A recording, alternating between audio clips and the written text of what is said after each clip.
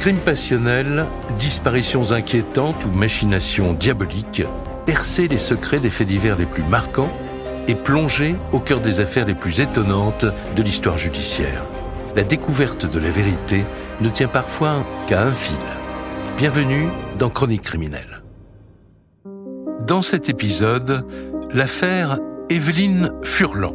En ce 1er octobre 2007, Marie-Julie, 14 ans, rentre tranquillement du collège. Quelques minutes plus tard, sa vie va basculer. À la maison, elle découvre le corps de sa maman étranglé dans son lit avec le câble du radio-réveil. Qui a bien pu tuer Evelyne Furlan aussi sauvagement? Et surtout, pourquoi En fouillant la vie de cette mère célibataire, les policiers s'aperçoivent que les suspects ne manquent pas, car Evelyne avait une vie amoureuse bien remplie et tous ses amants avaient la clé de son appartement. La porte n'était pas fracturée. Le coupable est donc forcément l'un d'eux. Mais lequel? La réponse dans ce podcast inédit de Chronique criminelle. Un matin d'octobre 2007, dans un village près de Toulouse.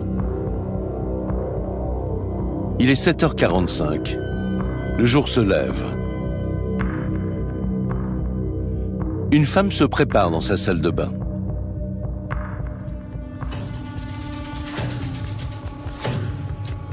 Un homme arrive derrière elle. Dans sa main, un cordon électrique. Soudain, il l'entoure violemment autour de son cou. Il serre de plus en plus fort. Après quelques minutes, la femme rend son dernier souffle. C'est le début d'une affaire criminelle qui a ébranlé toute la région.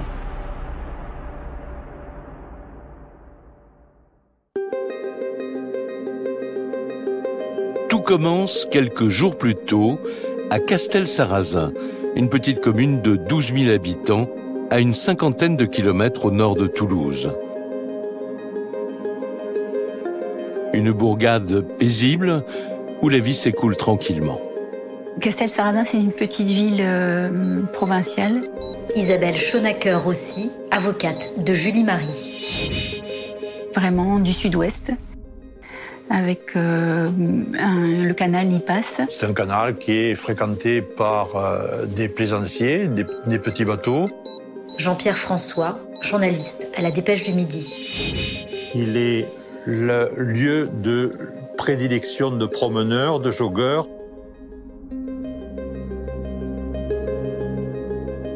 C'est une très petite bourgade, donc euh, de, de, toute évidence, euh, les gens qui y habitent se côtoient euh, très fréquemment et, et se connaissent bien. C'est ici, dans cette résidence située dans le centre-ville, que vivent Evelyne Furlan, 52 ans, et sa fille Julie Marie, 14 ans.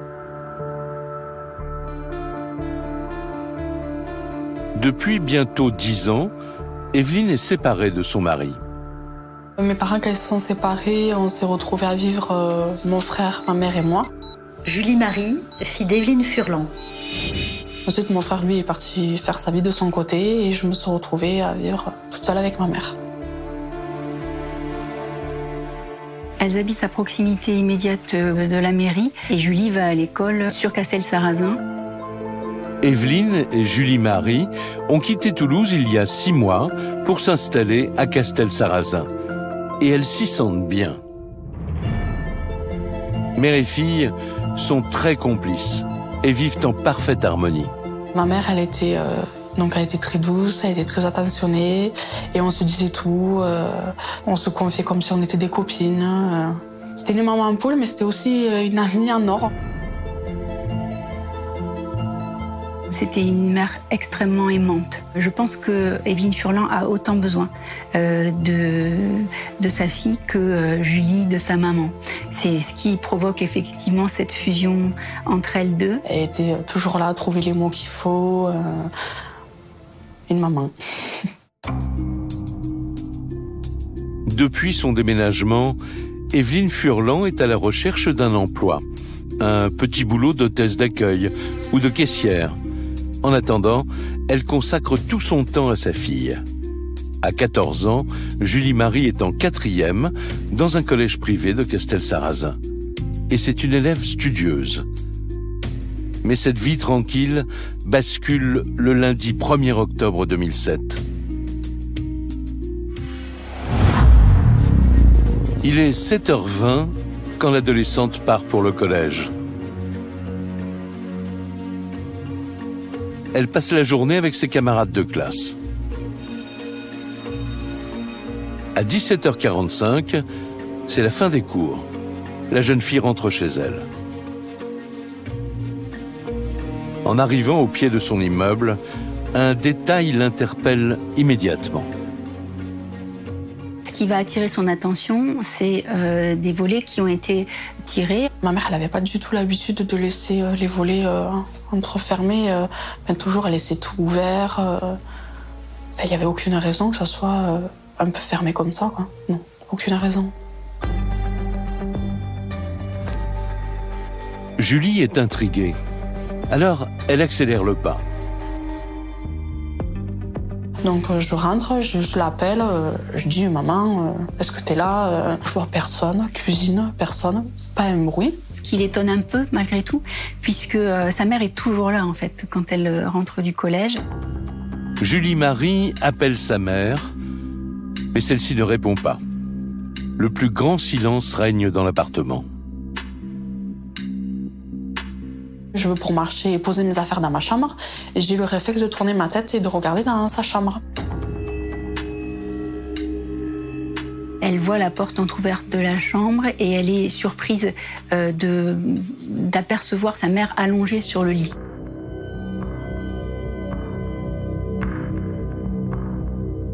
Je vois pas son visage, elle avait un drap blanc qui lui cachait le visage. Quand j'ai continué à la fixer, j'ai vu que son bras qui tombait et ses pieds qui étaient un peu euh, violets, euh, bleus. Comme si euh, quand, on avait, quand on a froid dehors, on a les petites veines qui ressortent et ça lui faisait la même chose. Julie s'inquiète et elle se dirige vers sa mère. Du coup, j'ai eu le réflexe de prendre le drap et c'est là que j'ai vu que. Ben, qu'en fait, elle était décédée, quoi.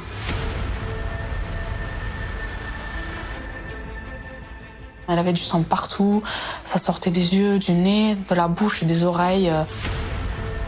Elle avait tout le cou qui était tout coupé. Enfin, euh, je, je suis restée, je suis restée bloquée sur elle. Elle découvre euh, l'indicible, l'horrible pour elle. Je pense qu'elle avait été égorgée, vu le- le- l'ampleur que c'était et comment c'était ouvert. L'adolescente est en état de choc. Face à elle, sa mère, inerte, baigne dans son sang. La jeune fille part en trombe chercher de l'aide. J'ai jeté le drap. Je suis descendue, j'étais un peu, euh, ben, j'étais paumée quoi. Elle euh, se précipite dans l'escalier euh, en hurlant de terreur. Elle redescend dans la rue pour aller chercher du secours et alerter le voisinage. J'étais euh, en panique, en pleurs. J'essaie de voir si quelqu'un peut m'aider. Je tombe sur un ami de mon père. Je traverse la rue vite. Je lui dis, s'il te plaît, aide-moi vite, vite. Il faut que tu appelles la police. Il me dit, mais calme-toi. Pourquoi? Qu'est-ce qui se passe? Elle hurle que sa mère a été égorgée. Elle demande de l'aide. Et donc, euh, bon, lui, ça l'a choqué. Et il a appelé euh, de suite la police. Donc, j'ai attendu dehors avec lui. Le commissariat de Castel-Sarrazin est à moins de 500 mètres. Les policiers arrivent sirène hurlante en quelques minutes à peine.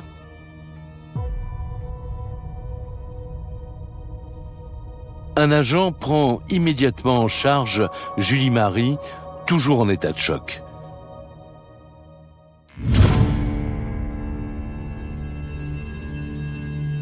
Pendant ce temps, d'autres policiers pénètrent dans l'appartement. Et ils découvrent alors une scène de crime d'une rare violence. À ce moment-là, ils vont s'apercevoir que Evelyne Furlan euh, n'est pas égorgée, mais qu'elle euh, porte autour du cou un cordon, un cordon euh, électrique noir, euh, qui euh, visiblement a été arraché d'un appareil. Evelyne Furlan euh, a un visage tuméfié. Jean-Pierre François, journaliste à la Dépêche du Midi. Couvert de sang, elle a été étranglée. On s'est immédiatement rendu compte que ce câble avait été entouré par deux fois autour de son cou. On voit qu'il y a eu une lutte. Evelyne Furlan a été euh, victime d'une furie. Il faut dégager une force très puissante pour qu'on euh, en soit arrivé à la tuer. Isabelle Schonacker aussi, avocate de Julie Marie. C'est donc une image assez euh, terrifiante. Evelyne Furlan a été sauvagement étranglée. Avant de commencer leur enquête, les policiers doivent confirmer à Julie Marie qu'il n'y a plus rien à faire pour sa mère.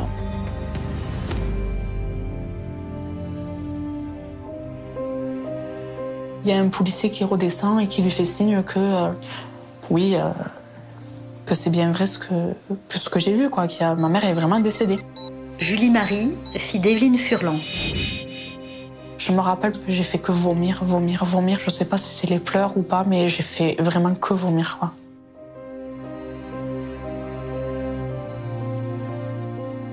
J'ai l'impression d'être seule au monde. Il faut quand même dire que Julie a juste 14 ans, qu'elle adore sa mère. J'arrive pas à me dire euh, j'ai plus ma mère, quoi. Ah non. Je n'arrive pas à me dire euh, euh, ce soir je la verrai pas demain non plus, après-demain et pour tout le reste de ma vie, quoi. Aujourd'hui encore, Julie Marie reste hantée par cette scène. J'ai vu cette image-là de ma mère et en fait, je la vois pas autrement. Si je m'endors et que, par exemple, ben, j'ai envie de penser à elle, ben non, je peux pas penser à elle, puisque quand j'essaie de penser à elle, je repense à quand j'ai soulevé ce drap et que je l'ai vu comme ça. Donc, euh, j'arrive pas à me rappeler de comment je l'avais avant. J'arrive pas. Je peux pas, j'arriverai jamais en fait. Je me dis que j'y arriverai jamais.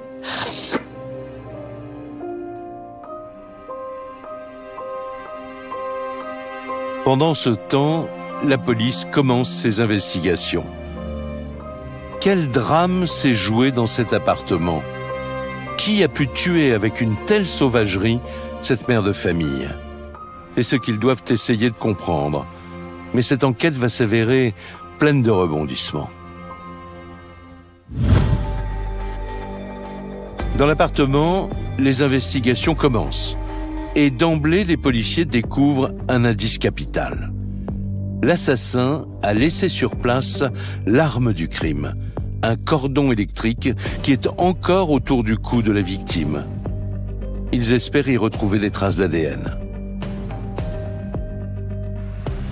Ils cherchent ensuite à déterminer l'heure de la mort d'Evelyne Furlan. Les policiers, lors de la découverte du corps, la trouvent dans sa tenue de nuit, c'est-à-dire en chemise de nuit. Le fait de trouver euh, Evelyne Furlan, qui est une personne euh, très très apprêtée, qui fait toujours très attention à elle, euh, en chemise de nuit, ça va être révélateur du fait que elle ne s'est pas habillée, qu'elle n'est pas sortie de son appartement.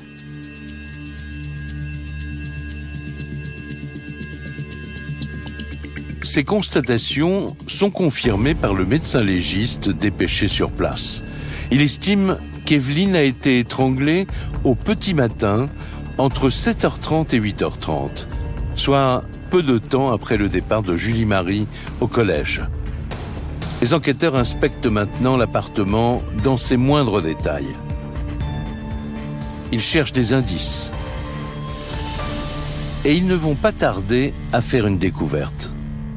Ils vont se rendre compte en passant vraiment cet appartement euh, au peigne fin euh, qu'il euh, existe un poste de radio qui se trouve au salon et ce poste de radio n'a plus de câble. Ce câble visiblement a été arraché. Immédiatement, la police déduit que c'est effectivement celui qui se trouve être l'arme du crime autour du cou d'Evelyne Furlan. Le tueur a trouvé l'arme du crime dans l'appartement de sa victime.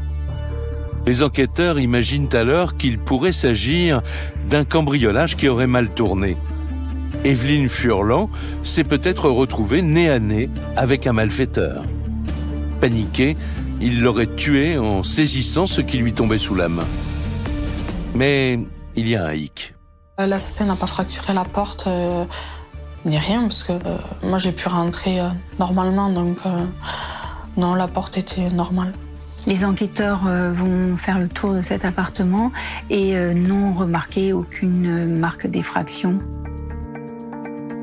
Un cambriolage sans effraction Cette piste est écartée. Les enquêteurs explorent alors une autre hypothèse. Evelyne a peut-être laissé entrer son agresseur chez elle pour la simple et bonne raison qu'elle le connaissait. L'on penche à ce moment-là vers une hypothèse dite familiale, c'est-à-dire euh, un crime euh, de proche.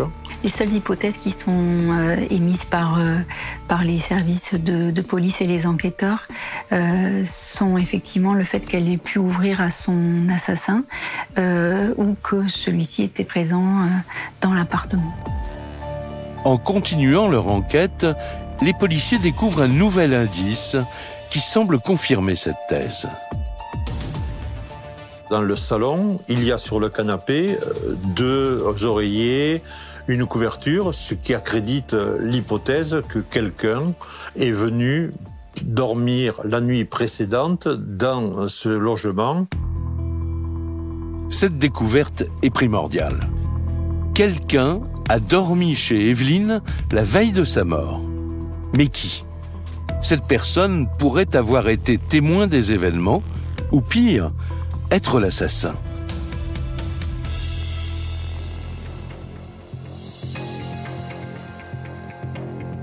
La seule qui peut aider les policiers à répondre à cette question, c'est Julie Marie. Elle est immédiatement convoquée au commissariat.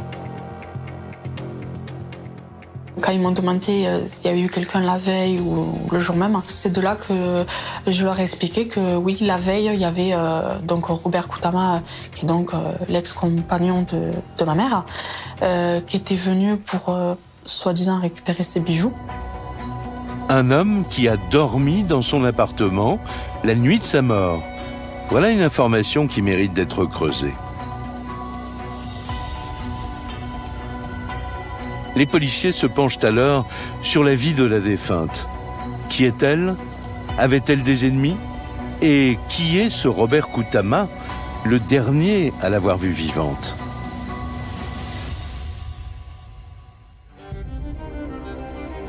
Le jour même, une équipe de policiers interroge les proches d'Evelyne pour en savoir plus. Evelyne Furlan est une personne euh, extrêmement appréciée de son entourage. Isabelle Schonacker aussi, avocate de Julie Marie. C'est une personne calme, euh, qui est très sincère dans ses relations. Elle avait le, elle avait le contact facile en fait. C'était une personne extrêmement euh, agréable, souriante. Tout le temps avec son sourire, euh, c'était fou. Ouais. Les policiers découvrent qu'Evelyne était une bonne vivante à la vie sentimentale compliquée. Un premier mari, dont elle a une fille, mais la relation ne dure pas. Quelques années plus tard, elle trouve un nouveau compagnon avec lequel elle aura deux enfants, un fils et une fille, Julie Marie. Mais une nouvelle fois, cette histoire se termine par une séparation. Depuis quatre ans, Evelyne avait à nouveau rencontré le grand amour, ce fameux Robert Koutama qui a dormi chez elle la nuit de son assassinat. Il est le dernier à l'avoir vue vivante et il devient donc le principal suspect. Il est originaire de Martinique. Raphaël Daribert, avocat de Robert Koutama. Il a trois enfants issus de deux unions différentes. Il a toujours exercé la profession de maçon. Robert Koutama était un de mes ouvriers. Ce qui était plaisant avec Robert, c'était sa joie de vivre. Bernard, employeur de Robert Koutama. Toujours le sourire, euh, son petit accent de la Martinique, euh, voilà. Toujours à raconter des blagues, euh, la bonne humeur, la gaieté. voilà, quelqu'un de très agréable. Les enquêteurs se disent qu'à première vue, Robert Koutama n'a absolument pas le profil d'un meurtrier capable d'étrangler de sang-froid sa victime. Mais tout de même, ils veulent en savoir plus sur le couple qu'il formait avec Evelyne. Robert Koutama et Evelyne Furlan euh, se sont rencontrés au début des années 2000 euh, sur Toulouse. Très vite, ils vont ils vont s'installer. Ils, euh, ils vont vivre ensemble. C'était un appartement qu'ils avaient euh, qu'ils ont pris tous les deux. Julie Marie, fille d'Evelyne Furlan. Et moi, je suis venue. euh, Donc, on vivait tous les trois ensemble. Les proches racontent qu'entre Evelyne et Robert, c'est un véritable coup de foudre. Ils s'aiment, ils démarrent ensemble une nouvelle vie. Julie Marie trouve rapidement sa place dans cette famille recomposée. Elle est contente de voir sa maman heureuse et les choses se passent euh, très bien. Robert, moi, il était euh, gentil, euh, il souriait, euh, il nous faisait sortir. Il s'en occupe comme de sa propre fille. Il se comporte vraiment comme, comme, comme son second père. Evelyne est aux anges. Après deux séparations, Robert Koutama est l'homme dont elle a toujours rêvé. Ils sont très amoureux l'un de l'autre, ça, ça ne fait aucun doute. En fin d'année, comme ça se fait dans toutes les entreprises de BTP, on fait un, le repas de fin d'année. Autant il y avait des ouvriers qui n'emmenaient pas leur, euh, leur épouse ou leur compagne, Robert, il venait toujours avec Evelyne. C'était un couple amoureux, c'était des gens euh, qui, qui s'aimaient, quoi. On, on se tient par la main, des petits bisous, des petits câlins. En apparence, Evelyne et Robert Koutama affichent un bonheur qui fait plaisir à voir.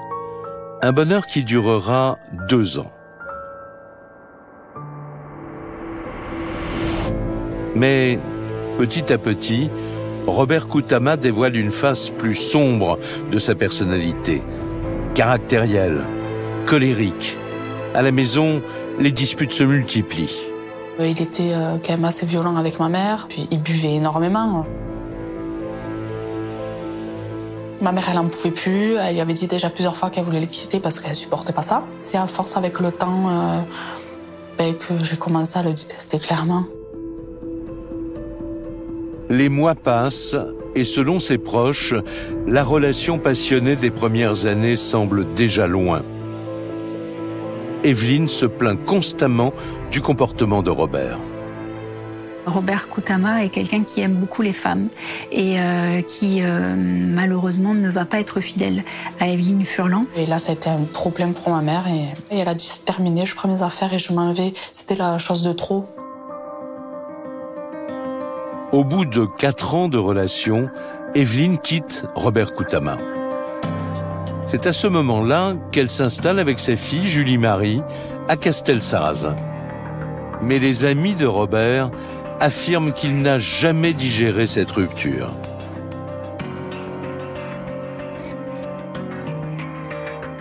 À la séparation, il est très malin. C'est euh, pour lui, c'est pas possible. C'est- Elle a toujours été là. euh, Il buvait, il a trompé. Elle a toujours été là. Et là, pouf, du jour au lendemain, elle veut partir. Robert Koutama, pour lui, c'est pas une séparation.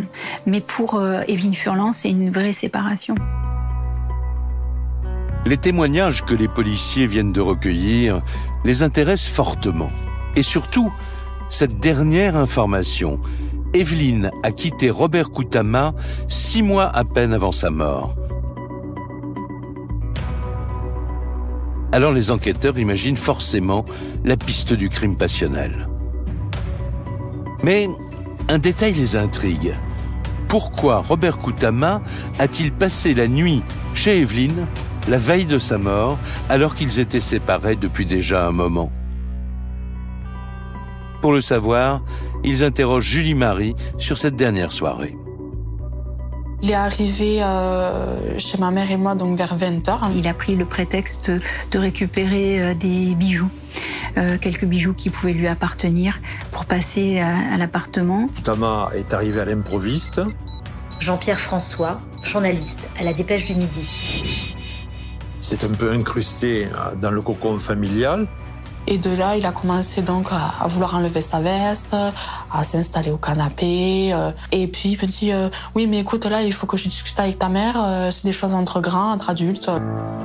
Julie Marie part dans sa chambre, mais elle précise qu'elle écoute en cachette leur conversation. Et elle n'entend rien d'inquiétant. Pas de cris, pas de dispute. Elle relève juste un détail. J'ai juste entendu une petite conversation, euh, si on peut appeler ça une conversation, où euh, Robert dit euh, Evelyne, tu ne peux pas me quitter comme ça. Il faut euh, qu'on s'explique, il faut qu'on se parle. Un peu plus tard dans la soirée, ma mère elle est venue me voir dans ma chambre en me disant euh, euh, c'est bon, on a fini de discuter, euh, tout va bien, euh, il va partir. Julie explique qu'elle s'est endormie ensuite, mais à son réveil le lendemain matin, elle est surprise de constater que Robert Koutama a dormi chez elle. Le matin, donc, je me lève et en fait, euh, je vois que Robert est toujours là. euh. Elle se rend compte que sur le canapé euh, du salon Raphaël Daribert, avocat de Robert Koutama. se trouvent deux, deux oreillers et une couverture. Et là, euh, elle, euh, elle se dit que, que Robert Koutama a, a vraisemblablement euh, euh, dormi sur le canapé.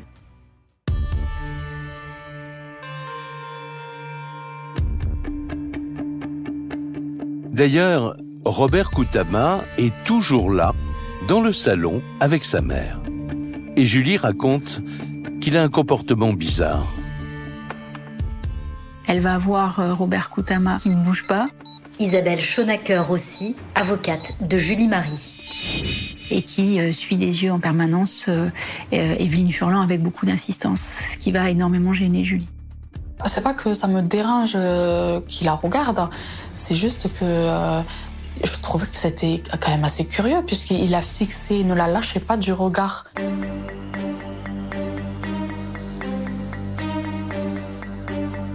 Les enquêteurs sont suspendus aux lèvres de Julie Marie. Dans son récit, il y a peut-être la clé de l'affaire. Et d'ailleurs, du haut de ses 14 ans, la jeune fille leur donne son avis. Elle est certaine que Robert Koutama a tué sa mère. Ah oui, dès le début, dès le début, hein, pour moi, je suis persuadée que c'est lui. Julie Marie, fille d'Evelyne Furlan. Attendez, il était là la veille, le- la veille au soir? Le matin, je pars à l'école, il est toujours là. Donc moi, je, suis sûre que c'est lui.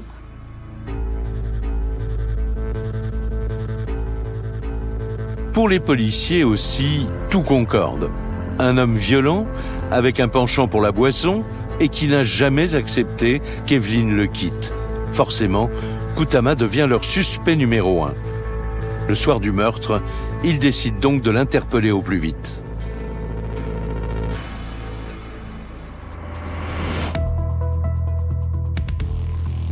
Et le lendemain matin, à la première heure, ils débarquent chez Robert Koutama, à Toulouse. Robert Koutama euh, ne comprend pas du tout ce qui se passe. Raphaël Daribert, avocat de Robert Koutama. On lui annonce que qu'Evelyne Furlan est, est- est morte, qu'elle a été tuée, et il est en état de, de sidération. Il avance comme réponse Je suis innocent, je ne suis pas au courant, c'est vous les policiers qui m'avez appris le décès d'Evelyne. Un suspect qui clame son innocence, les policiers en ont vu d'autres. Sans tarder, ils perquisitionnent l'appartement de Robert Koutama. Et ce qu'ils découvrent confirme qu'ils tiennent sans doute le bon suspect. Ils sont intrigués par euh, la présence euh, d'un euh, pantalon qui mouillait, euh, en train de, sécher. Ils sont également intrigués par la, la, la, la présence de, de deux t-shirts euh, qui euh, présentent des, des traces brunâtres euh, que, qui pourraient euh, s'apparenter à, à, des, à, des, à des taches de sang. Et euh, sur euh, la machine à laver, on trouve une boîte de détergent entamée euh, avec euh, plusieurs pastilles manquantes euh, dont on déduit qu'elles ont servi à laver du linge, mais euh, c'est un détergent puissant, extrêmement puissant. Ces découvertes intriguent les policiers. Comme par hasard, Robert Koutama a lavé son linge le jour de la mort d'Evelyne. Aurait-il cherché à dissimuler des taches de sang avec ce puissant détergent Les enquêteurs envoient les vêtements au laboratoire, mais ils devront patienter plusieurs jours pour savoir s'il s'agit bien du sang d'Evelyne. En attendant, les policiers poursuivent leurs investigations chez Robert Koutama. Il passe maintenant au peigne fin son véhicule. Et là encore, il découvre des éléments troublants. Ils vont euh, euh, retrouver euh, des traces de sang sur l'assise du siège conducteur, mais également sur la portière avant côté conducteur des traces de sang qui interpellent et font aussi l'objet de prélèvements pour analyse parce que on ne sait pas à qui appartient véritablement ce sang. Les policiers, eux, parieraient volontiers qu'il s'agit du sang d'Evelyne. Mais là encore, ils devront attendre les résultats du laboratoire pour le savoir. Cette perquisition est vraiment du pain béni. Au lendemain du crime, ils sont convaincus de tenir leur meurtrier. Pourtant, ils vont être très surpris. Car ils vont vite s'apercevoir qu'ils ne sont peut-être pas sur la bonne piste.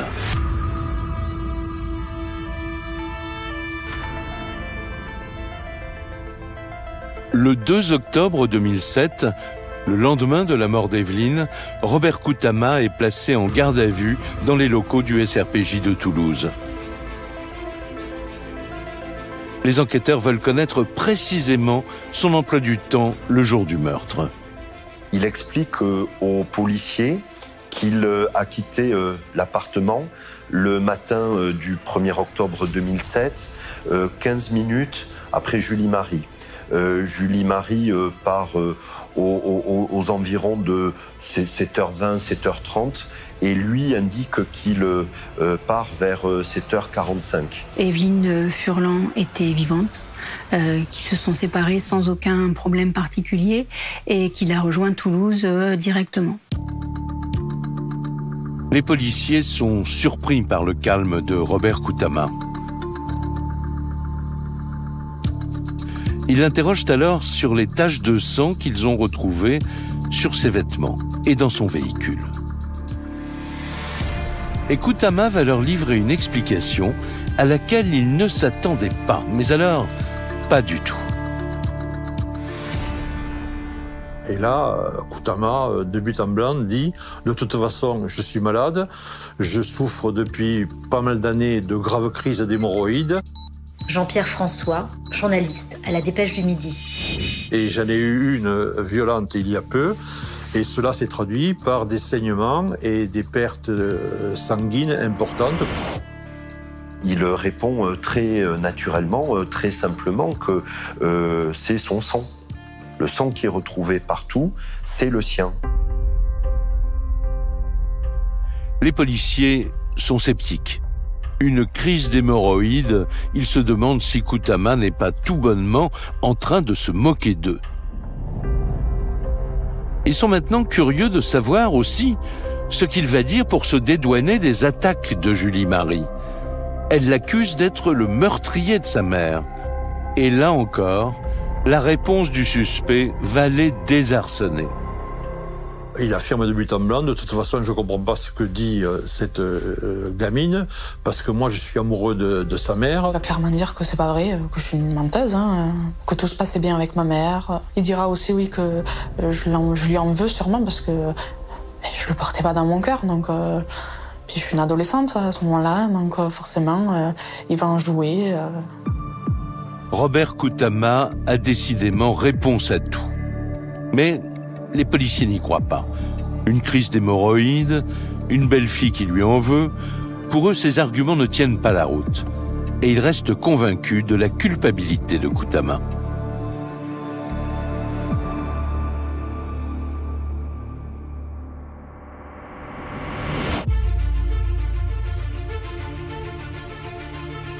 Le lendemain du meurtre, Koutama est déféré devant un juge d'instruction qui ordonne sa mise en examen. Pour tous ses proches, cette nouvelle est une véritable bombe. Ça a fait un gros choc. J'ai dit mais c'est pas possible, Robert a pas pu tuer Evelyne. Bernard, employeur de Robert Koutama. C'était une aberration, c'était pas c'était le séisme, c'est pas possible que Robert ait pu faire ça On a la double nouvelle. Evelyne est morte, Robert est accusé, et encore une fois, c'est pas possible. Robert Koutama est sur le point d'être incarcéré lorsqu'un énorme coup de théâtre se produit.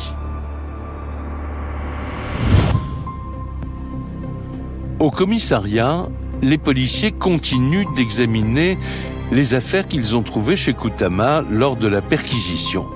Des papiers, des factures, et ils découvrent une pièce capitale, une pièce qui va remettre en cause toute leur enquête. Ils euh, découvrent un ticket de caisse euh, d'un supermarché. Et ce ticket de caisse, il est daté du jour même du meurtre, avec euh, la date exacte, mais surtout l'heure, qui est 9h14. Ce ticket de caisse démontre de manière certaine Raphaël Daribert, avocat de Robert Koutama. que Robert Koutama se trouve à Toulouse à 9h14. Ce matin-là, Koutama se serait arrêté au supermarché avant de rentrer chez lui. Il n'a même pas pensé à le préciser en retraçant son emploi du temps. Mais pour les enquêteurs, ce détail est capital. Pour effectuer le trajet entre Castel-Sarrazin et Toulouse, il faut environ une heure et demie. Si Robert Koutama était à Toulouse à 9h14, comme en témoigne le ticket du supermarché, cela signifie qu'il aurait tué Evelyne Furlan vers 7h45, soit 20 minutes seulement après le départ de Julie Marie au collège. Et pour les enquêteurs, il y a un problème de timing. Les enquêteurs vont effectivement s'interroger sur euh, la possibilité euh, qu'il aurait eu euh, de commettre le meurtre Isabelle Schonacker aussi, avocate de Julie Marie. et de venir sur, sur Toulouse pour, dans un délai relativement court. Quand Julie Marie euh, quitte le domicile de sa mère, elle dit que l'atmosphère est calme, qu'il n'y a pas de dispute. Euh, On imagine difficilement euh, qu'un homme comme Robert Koutama ait pu s'emparer d'un cordon pour étrangler aussi violemment Evelyne Furlan. En, l'espace de 20 minutes, Une dispute, un étranglement, puis le trajet Castel-Sarrazin-Toulouse en une heure et demie seulement. Pour les policiers, ce délai est trop court. D'autant qu'ils le savent, tuer une personne par strangulation, cela prend du temps. Une dizaine de minutes au moins.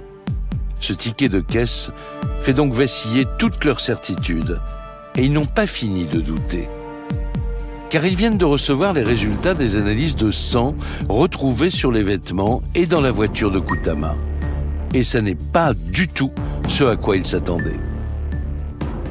le résultat des analyses euh, ADN démontre de façon certaine euh, que ces traces de sang, que ce sang est le, le, le sang de Robert Koutama. On a à ce moment-là comme une fragilisation de la- dans la conduite de l'enquête. C'est un sacré rebondissement euh, dans l'enquête. On se dit qu'en fait, il dit la vérité depuis le départ.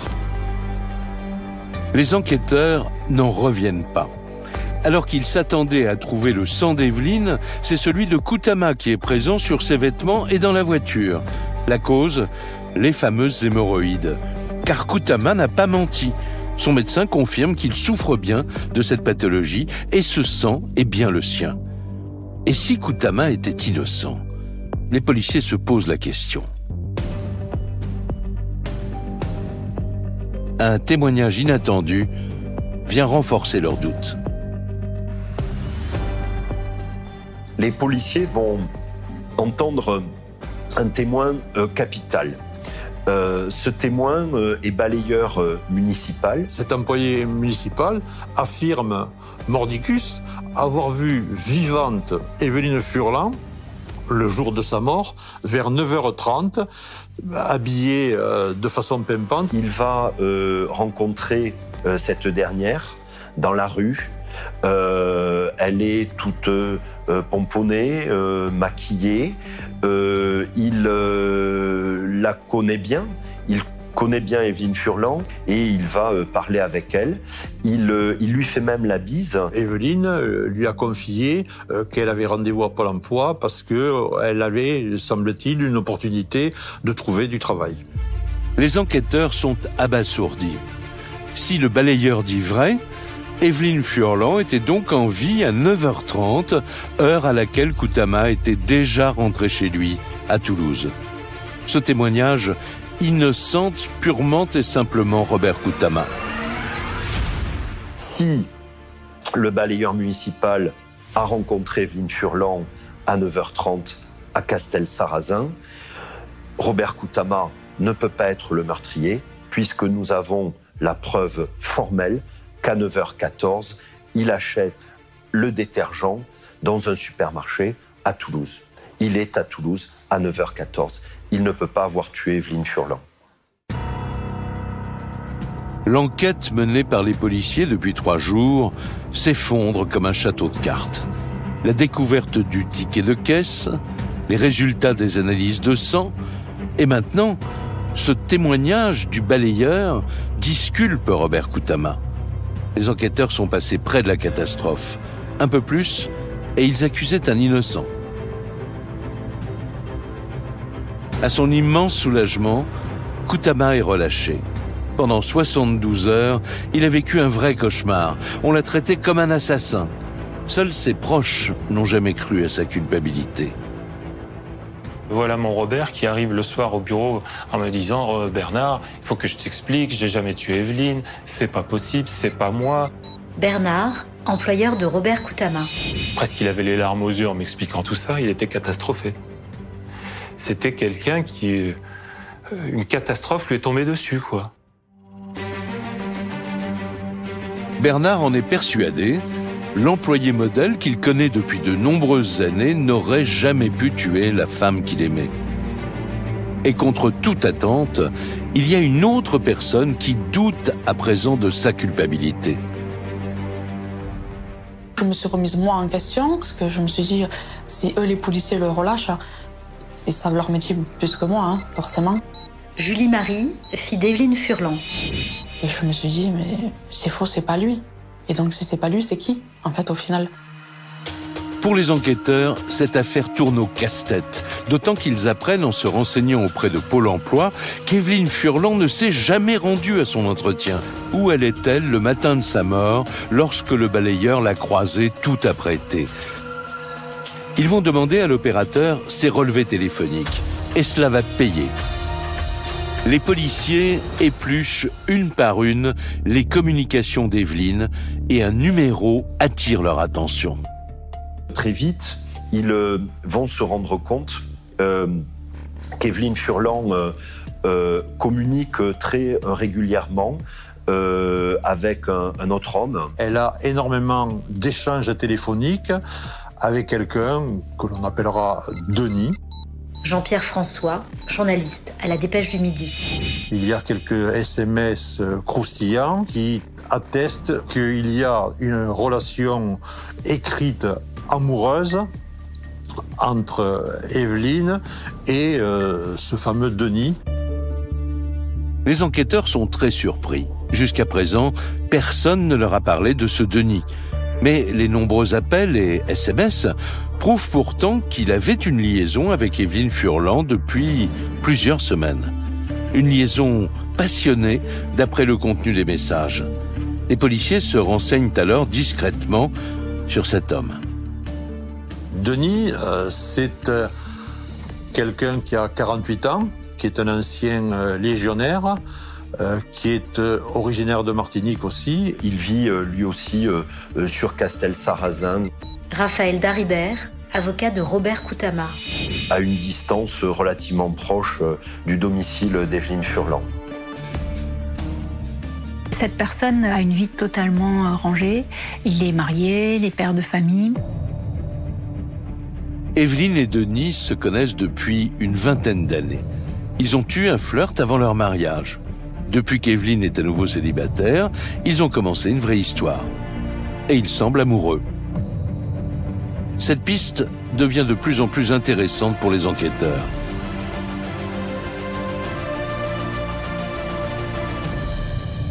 Alors ils convoquent Denis dans les locaux du SRPJ de Toulouse. Ils veulent l'interroger sur sa relation avec la victime. Il dit oui, oui, je connais bien Evelyne Furlan, mais euh, c'est une relation parmi tant d'autres et euh, ça s'arrête à des relations toutes amicales. Denis va nier une relation, euh, en tout cas d'amant, avec Evelyne Furlan. Les enquêteurs trouvent ce Denis bien louche. Pourquoi leur ment-il sur sa relation avec Evelyne? Aurait-il d'autres choses à cacher? Les policiers prélèvent son ADN et le comparent avec ceux retrouvés sur la scène de crime. Et ce qu'ils découvrent l'accable encore un peu plus. Les policiers retrouvent du sperme de ce même Denis sur la couette du lit d'Evelyne Furlan, la couette du jour du meurtre. Pour quelqu'un qui affirme ne pas avoir de relation intime avec Evelyne, c'est raté. Les enquêteurs le convoquent à nouveau. Ils doivent absolument le faire parler. Et pour lui mettre la pression, ils le questionnent sur les résultats des analyses ADN. Son sperme, retrouvé sur la couette d'Evelyne. Confronté aux preuves ADN, euh, Denis euh, craque et effectivement, il est obligé euh, de révéler qu'il a euh, une relation euh, intime avec Evelyne Furlan. Denis va expliquer que si dans un premier temps il a menti, c'est bien évidemment parce qu'il est marié. Isabelle Schonacker aussi, avocate de Julie Marie. Parce qu'il a des enfants et que son épouse n'est bien évidemment pas au courant de la relation qu'il entretenait avec Evelyne Furlan. Denis est acculé. Il avoue sa liaison avec Evelyne, mais il jure aussi que ce n'est pas lui qui l'a tuée. Pourtant, les policiers sont sceptiques. Pour eux, l'histoire se tient. Ils envisagent même un possible mobile. Et si Evelyne Furlan l'avait menacé de révéler leur liaison à sa femme? Denis peut-être euh, a craint pour la pérennité de son couple. Et partant de ce principe, pourquoi ne pas avoir éliminé celle qu'il considérait comme sa maîtresse? Le mobile, c'est que il aurait voulu euh, tuer Evelyne Furlan euh, pour euh, l'empêcher euh, d'ébruter euh, au grand public l'existence de leur relation amoureuse. Cette fois, les policiers sont certains d'avoir entre leurs mains le meurtrier d'Evelyne.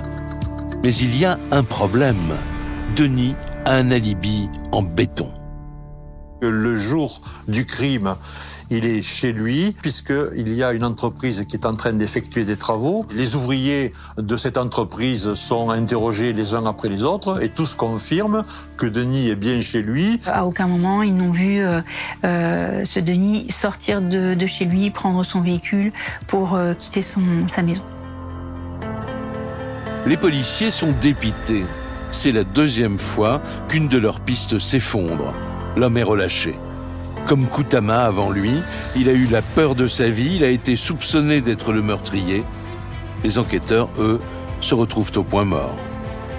Une semaine après le décès d'Evelyne, ils ne savent toujours pas qui a pu commettre ce meurtre abominable.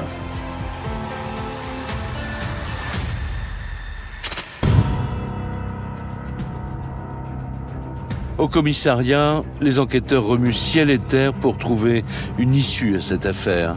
Et c'est la science qui va les faire rebondir. Les résultats des analyses ADN effectuées sur le câble électrique ayant servi à étrangler Evelyne Furlan ont enfin parlé. Et pour les policiers, c'est la stupéfaction. On s'est aperçu euh, à l'analyse euh, du câble euh, que celui-ci porte des traces ADN qui sont les traces génétiques de Robert Koutama. Pour les policiers, on ne peut pas imaginer que quelqu'un d'autre se soit servi de cet élément matériel pour étrangler Evelyne Furlan. Les enquêteurs tombent des nues. Ils avaient abandonné la piste Koutama depuis plusieurs jours, et voilà que son nom revient sur le devant de la scène. Alors, plus question de traîner. Robert Koutama est interpellé et placé en garde à vue une seconde fois. Mais cela est loin de le déstabiliser. Robert Koutama persiste à clamer son innocence et souligne que c'est pas une preuve flagrante de trouver des traces de son ADN sur ce câble. Jean-Pierre François, journaliste à la Dépêche du Midi. Puisque pendant X temps, il a habité et vécu avec et chez Evelyne Furlan. La radio, le cordon, euh, euh, c'est un objet que l'on utilise au quotidien. Euh, Robert Koutama a certainement régulièrement branché, débranché ce câble électrique. Robert Koutama a décidément réponse à tout. Mais cette fois, les enquêteurs ne sont pas dupes. D'autant qu'ils ont reçu les résultats de l'autopsie. Et un nouvel élément l'accuse.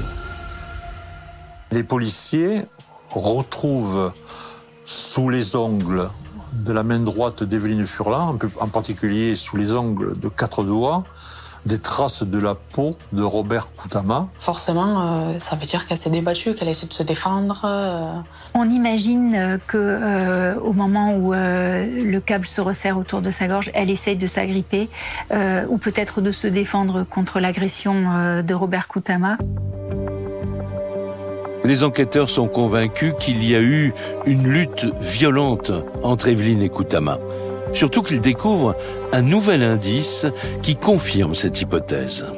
En refouillant le domicile de Robert Koutama à Toulouse, ils trouvent un débardeur et sur celui-ci une trace euh, petite, très petite, de sang. Une infime petite goutte de sang euh, qui, analysée par le laboratoire, va permettre de déterminer qu'il s'agit d'une goutte de sang, aussi petite qu'elle soit, qui appartient à Evelyne Furlan. On n'est pas du tout certain que ce soit le, le sang d'Evelyne. Raphaël Daribert, avocat de Robert Koutama. Il peut s'agir du sang de Robert Koutama, que celui-ci, euh, enseignant, euh, a pu être en contact avec la, victime et on retrouve simplement le profil génétique de la victime euh, mélangé dans cette trace de sang. Cet argument de la défense ne convainc pas les enquêteurs. Pour eux, c'est une nouvelle preuve de sa culpabilité. Mais il y a encore un détail qui les chiffonne. Le témoignage du balayeur qui affirme avoir vu Evelyne à 9h30 le matin de sa mort et cela disculpait Robert Koutama qui était au même moment à Toulouse. Alors pour éclaircir ce problème de timing, les policiers interrogent à nouveau ce balayeur et contre toute attente, il n'est plus aussi sûr de lui. Le balayeur est dans l'incapacité de redire de façon nette, précise et définitive qu'il a bien vu Evelyne ce lundi matin à 9h30. Il dit peut-être oui, euh, c'est un autre jour. Euh, il est nettement moins affirmatif et tout compte fait, à la fin, euh, il dit peut-être je me suis trompé de jour. Donc ça fait un témoignage qui s'effondre. Le dernier témoignage qui pouvait sauver Robert Koutama vient donc de tomber. Les policiers en savent suffisamment. Les résultats ADN sur le câble électrique, le t-shirt taché de sang et la peau de Robert Koutama sous les ongles d'Evelyne. Ils sont persuadés qu'il est bien l'assassin. Koutama est mis en examen pour le meurtre d'Evelyne Furlan et incarcéré.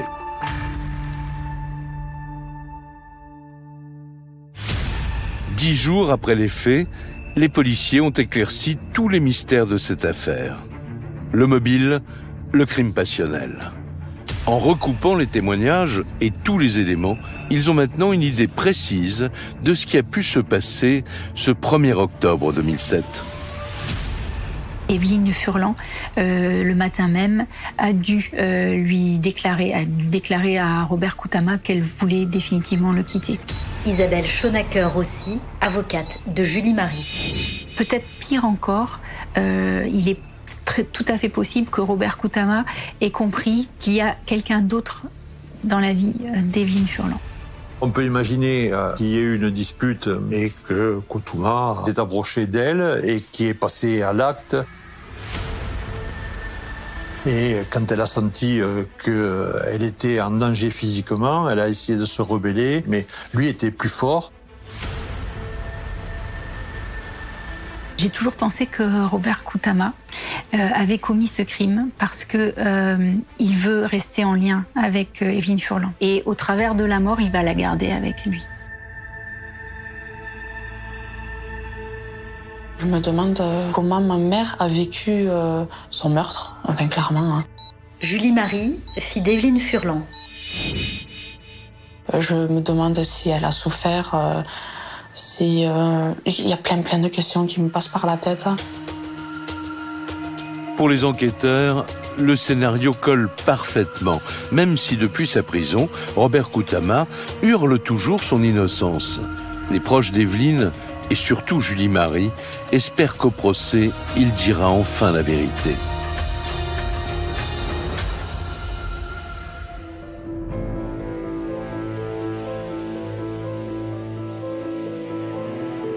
Le 10 février 2011, quatre ans après le meurtre, le procès de Robert Koutama s'ouvre à Montauban.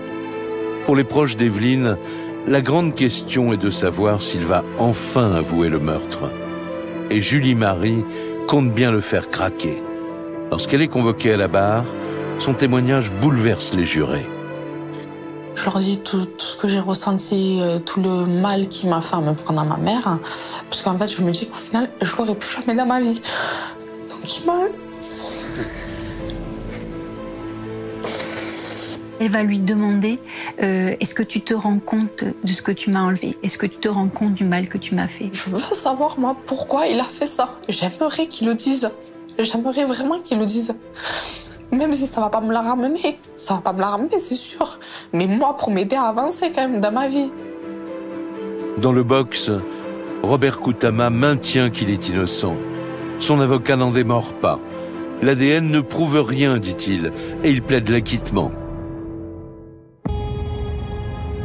Le 13 février 2011, après quatre jours de procès, le verdict tombe. Robert Koutama est condamné à 18 ans de réclusion criminelle pour le meurtre d'Evelyne Furlan. Ses proches sont sous le choc. Je me suis dit, c'est pas possible, ils se sont trompés. On peut pas condamner Robert à 18 ans de prison. Ou alors c'est vraiment lui qui a tué, qui a tué sa compagne, mais c'est pas possible. Bernard, employeur de Robert Koutama. C'est l'incompréhension. Si effectivement c'est lui qui a fait ça, ce n'est que la justice. Mais si c'est pas lui qui l'a fait, ce que je crois toujours, je crois toujours que c'est pas lui qui a pu faire ça. Je ne suis pas sûr que Robert Koutama euh, réalise qu'il vient d'être condamné euh, pour euh, le meurtre de, de la femme qu'il euh, aimait et euh, il, est, euh, il est sans voix. Il euh, ne cesse de me dire qu'il est innocent. Robert Koutama fait appel de sa condamnation. Dix mois plus tard, à Toulouse, le verdict est encore plus lourd. 20 ans de réclusion criminelle. Et cette condamnation n'apaisera jamais Julie Marie. Il m'a détruit. Il m'a tué ma vie. Il m'a vraiment tué ma vie. Il a pensé qu'à lui. Il n'a pas pensé aux conséquences. Il n'a pas pensé à moi derrière en sachant que j'avais que 14 ans. Comment je vais faire après pour euh, continuer à vivre, continuer à avancer Pendant toute une vie, on a besoin d'une mère.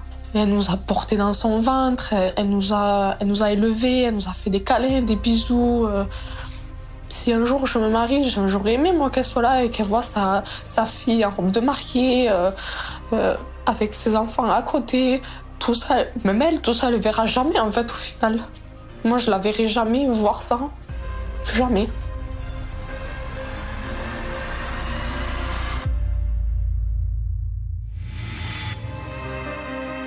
Vous venez d'écouter Chronique criminelle. Si l'épisode vous a plu, n'hésitez pas à mettre des étoiles, à commenter ou à vous abonner sur votre plateforme d'écoute préférée. Et retrouvez dès la semaine prochaine un nouvel épisode de Chronique criminelle.